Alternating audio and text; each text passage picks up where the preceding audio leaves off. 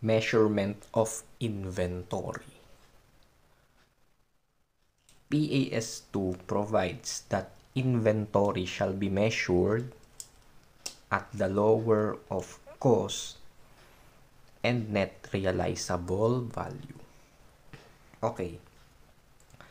The measurement of inventory at the lower of cost and net realizable value is known as LCNRV. So, yung ibig sabihin ng LCNRV ay lower of cost and net realizable value. Okay. Ang initial measurement ng inventory ay at cost. So, ito yung initial measurement. Ngayon, ang subsequent measurement ng inventory ay lower of cost and net realizable value. Yung cost na binabanggit sa initial measurement ng, ng inventory, so ano nga ba yung cost ng inventory? Meron tayong cost of purchase, cost of conversion, tsaka yung other costs needed in bringing the inventory to its present location and condition. Yun yung binabanggit na cost dun sa initial measurement ng inventory. And ang subsequent measurement ng inventory is lower of cost or net realizable value.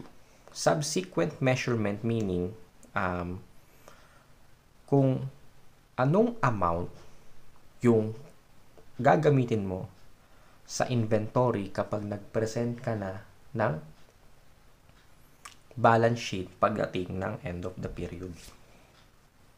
And kagaya na binanggit dito, the measurement of inventory at the lower of cost and net realizable value is low is known as LCNRV. So, kinukuha natin yung lower ng cost and net realizable value. So, ginagamit natin dito yung accounting principle na conservatism.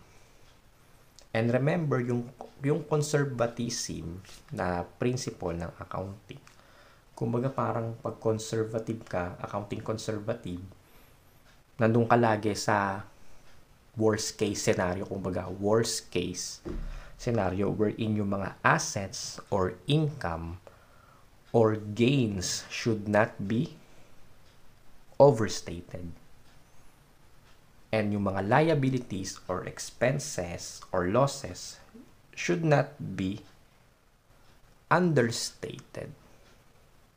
So, sa principle ng conservatism, ang assets dapat hindi siya overstated. Kaya, kaya nga dito, sabi ng PAS2, dapat ang inventories shall be measured at the lower. So, yung mas mababa yung kukunin nating value. Kasi inventories ang pinag-uusapan. Asset, account. And, remember, um, yung conservatism, ginagamit nyo na rin yan nung kayo ay nasa topic ng um, actually sa basic accounting, gamit na gamit yan. Ganun din sa topic ng cash and cash equivalence. So, naaalala nyo ba sa cash and cash equivalence kapag yung pera na nandun sa bangko and yung bangko na yon ay in bankruptcy, di ba? Ang cash dapat na nakalagay dun sa bangko na in bankruptcy should be written to its estimated realizable value. So, application siya ng um, conservatism principle. And, tatatandaan nyo rin ba sa accounts receivable, kapag nire-report natin ng accounts receivable, accounts receivable less allowance for doubtful accounts. So, mag-a-arrive tayo sa accounts receivable at net realizable value.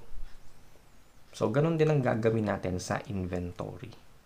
lower of cost, and net realizable value. Net realizable value or NRV is the estimated selling price in the ordinary course of business less estimated cost of completion and the estimated cost necessary to make the sale. So to compute net realizable value, net realizable value is equal to um, estimated selling price less estimated cost to complete less estimated cost to sell. Inventories are usually written down to net realizable value on an item by item or individual basis. So, net realizable value is equal to estimated selling price less estimated cost to complete less estimated cost to sell. So, bakit estimated selling price ang ginagamit? Remember, balikan natin yung sinabi ng PES2, inventory shall be measured at lower of cost and net realizable value. So, ang tinitingnan nating inventory dito ay yung ending inventory. And yung ending inventory, kailan siya mabebenta? Kumbaga mabebenta siya doon sa susunod na accounting period. Kaya estimated selling price yung ginagamit as basis in determining the net realizable value. Now, para ma-elaborate natin yung lower of cost and net realizable value or LCNRV, so magbigay tayo ng um, examples. Kumbaga meron tayong theoretical transactions. So, let's say nung May 2019, meron kang business. Meron kang business. Nagbebenta ka ng face shield. Okay, let's say ito yung face shield na binebenta mo. So, nakalagay yan sa karton. Nung May 1, 2019. So, lagyan natin ng accounting entries. No? So, ang business mo ay nagbebenta ka ng face shield. Yun yung ordinary course of business mo. Yun yung kumbaga ikinabubuhay mo. Ikinabubuhay ng business mo pagbebenta ng face shield. Okay, kunyari nung May 2019. May 1, 2019. Bumili ka ng face shield. Bumili ka ng face shield at um, 100 pesos per piraso.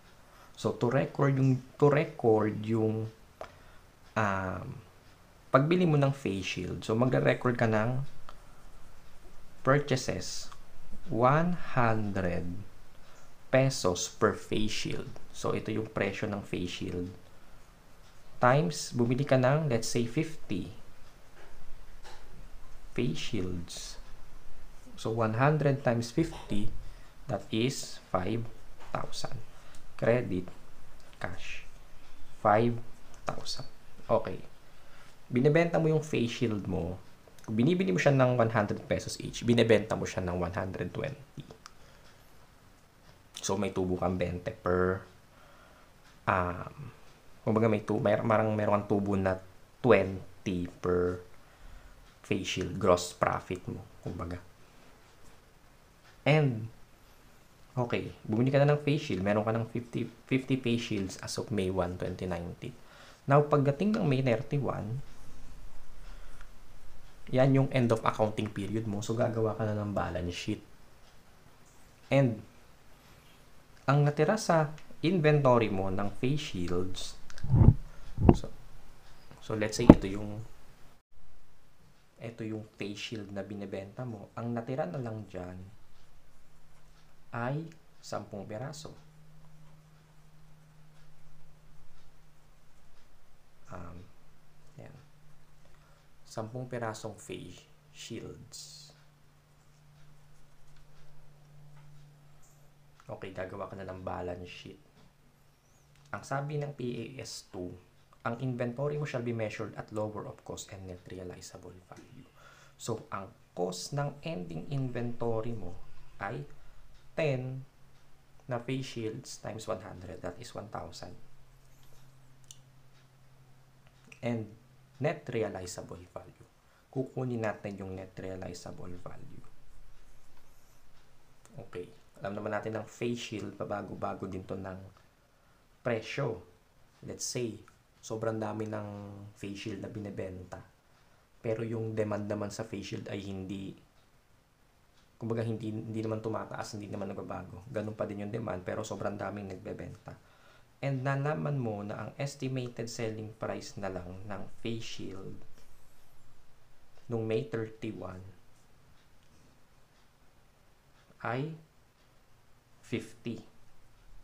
50 per piraso na lang siyang binebenta sa um, sa market. And to compute net realizable value, estimated selling price mo is 50, estimated cost to complete mo, so wala ka namang estimated cost to complete. Kasi buy and sell ka lang naman ng face shield. And yung estimated cost to sell mo, let's say meron kang estimated cost to sell na 5 pesos per face shield. Kumbaga sa kada benta mo ng face shield, meron kang na, meron kang 5 pesos na estimated cost to sell. So ang net realizable value ng face shield ay 45 per piraso. And yung net realizable value ng face shield mo na 10 piraso, NRV 45 times 10, that is 450 pesos. Okay. Ngayon, PAS2, lower of cost on and net realizable value. So, ano yung kukunin mong value? Yung mas mababa. Lower of cost and net realizable value is 450. 1,000 is cost, 450 is NRV, LCNRV is 450. Okay. Ibig sabihin, kapag gagawa ka na ng balance sheet ng May 31, ganito ang mangyayari. From cash, kung ano man yung amount ng cash, then accounts receivable, ganyan din. Then, inventory at what amount? 450 pesos. 450 pesos na yung mag-a-appear sa balance sheet mo as value ng inventory. Application ng conservatism principle. Bakit mo ire-report ang face shield mo at 1,000 kung ang value niya naman talaga ay 450 na lang? And ito ay asset. So, dapat yung mas mababa. Conservative or conservatism accounting principle. Okay, another example tayo para ma-elaborate yung um, LCNRV. Okay. Kunyari, meron kang business. And ang business mo naman ay nagbebenta ka ng bawang. And ang pagbebenta mo ng bawang, hindi tingi per kilo ang iyong pagbebenta. Bumibili ka ng per kilo ng bawang, then binebenta mo rin siya per kilo. And bawang, yun yung normal na operation ng business mo. Yun yung kinabubuhay, kumbaga, ng iyong business. Okay. Kunyari, nung December 1, nung December 1, 2020 naman, nung December 1, 2020, bumili ka ng 20 kilos ng bawang. So, to record yung acquisition mo ng 20 kilos ng bawang, debit purchases, 20 kilos. 20 kilos times, so let's say ang presyo ng bawang nung December 1, nung bimili ka, 170 per kilo. So, 20 pesos, 20 kilos times 170, that is 3,400. Credit, cash na 3,400. So, binebenta mo siya per kilo din. Hindi siya per tingi.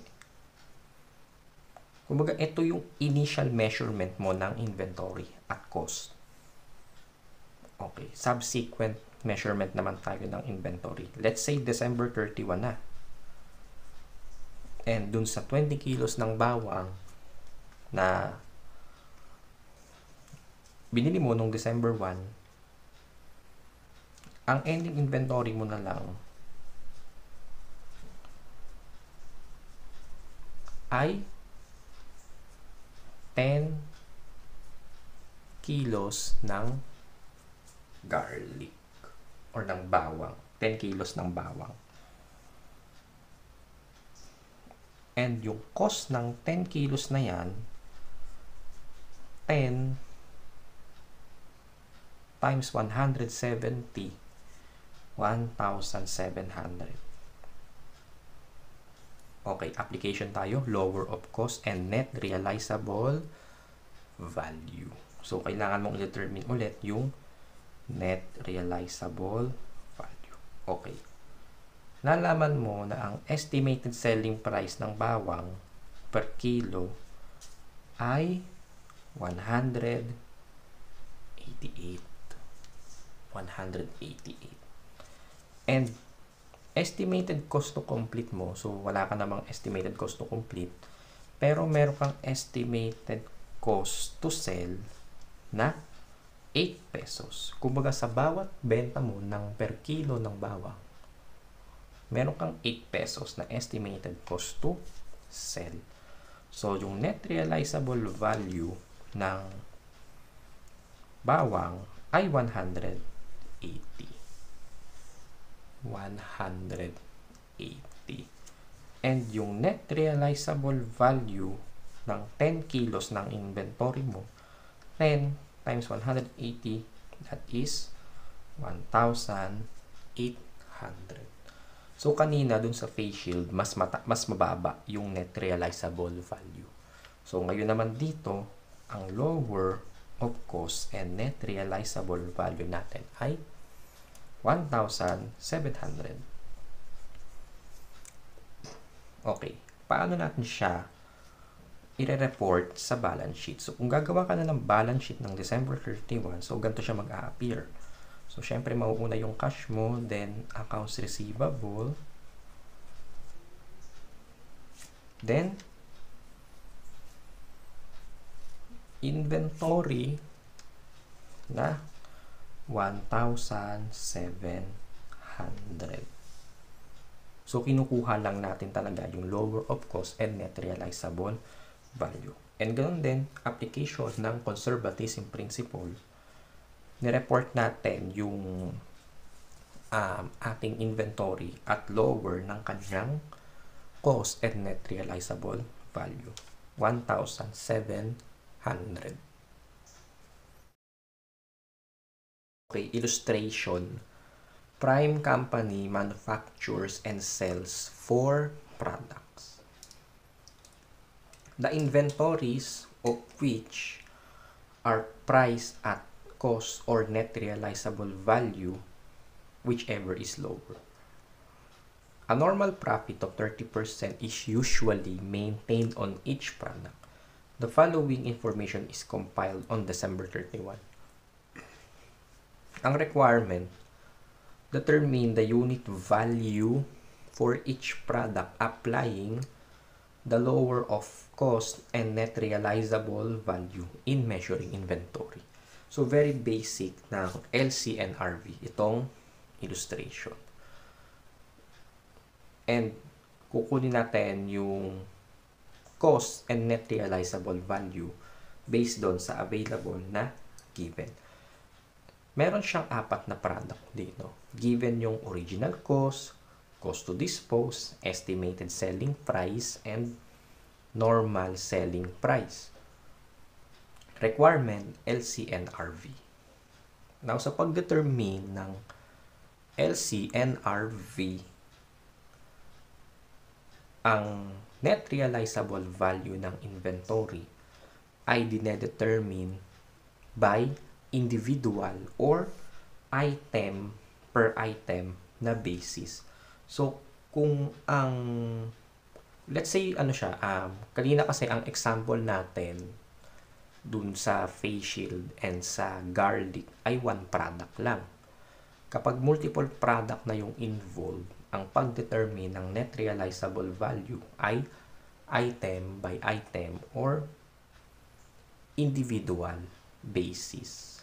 So, kunyari, no, kunyari, um, nagbebenta ka ng office supply. So, meron kang inventory ng pencil, meron kang inventory ng ball pen, may inventory ka ng paper, and may inventory ka ng, let's say, um, eraser na lang. Ayan.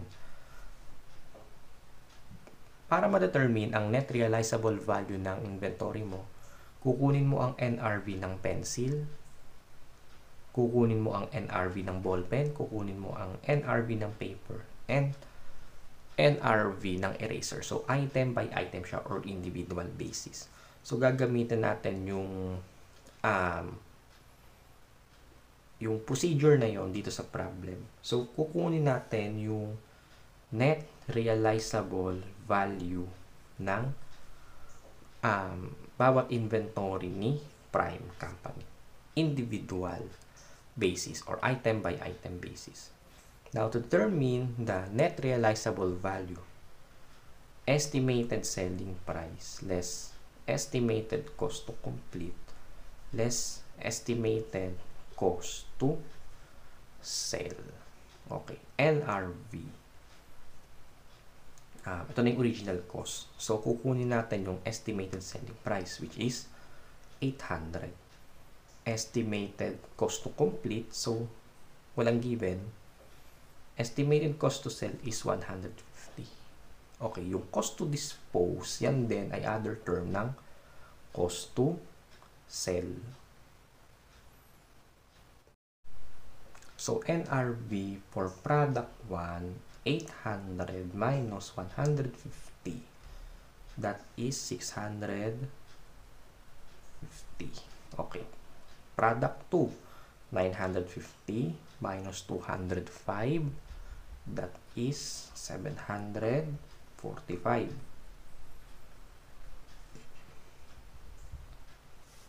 okay. Product 3 300 minus 50 that is 200 and product for 1000 minus 260 that is 740 okay. So meron na tayong NRV next natin determine the lower of cost and net the realizable value. So pagkukumparahin lang natin yung original cost and NRV sino yung mas mababa? So LCNRV for product 1 is 600 50. LCNRV for product 2, 475.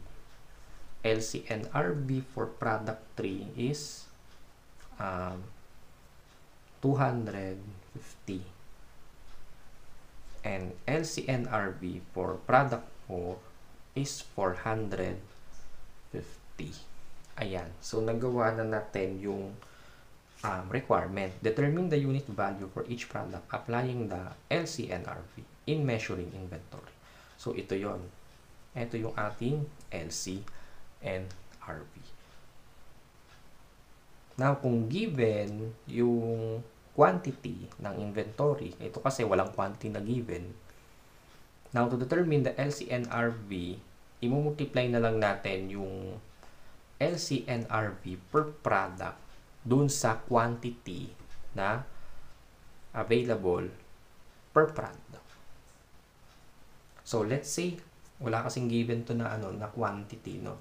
So, let's say, ang quantity nila lang niya ay tigi-isa. Let's say, meron tigi-isa siyang product ng product 1, product 2, product 3, and product 4. So, total LCNRV natin, 650 plus uh, 475 plus 250 plus 450 That is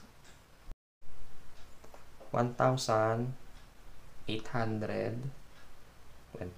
So, kung given lang naman yung quantity na involved, ganun yung gagawin natin. And dito kasi sa problem, unit value lang naman yung hinahanap. So, ito lang yung ating LCNRV per unit value ng product. And again, remember kapag nagde-determine tayo ng net realizable value, ang gagawin natin item by item or individual basis per type ng inventory or per product. Katulad nitong sa ating illustration.